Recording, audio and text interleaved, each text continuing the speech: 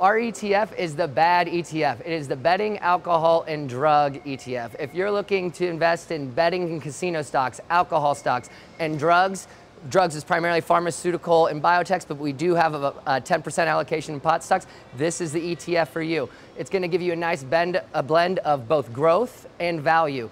We have growth in there because of the deregulation going across the streams of the casino and uh, pot stocks, but we also have that consumer staple feel in a value sense uh, for the alcohol and the drugs and pharmaceuticals. So if you want to be bad, invest in the bad ETF.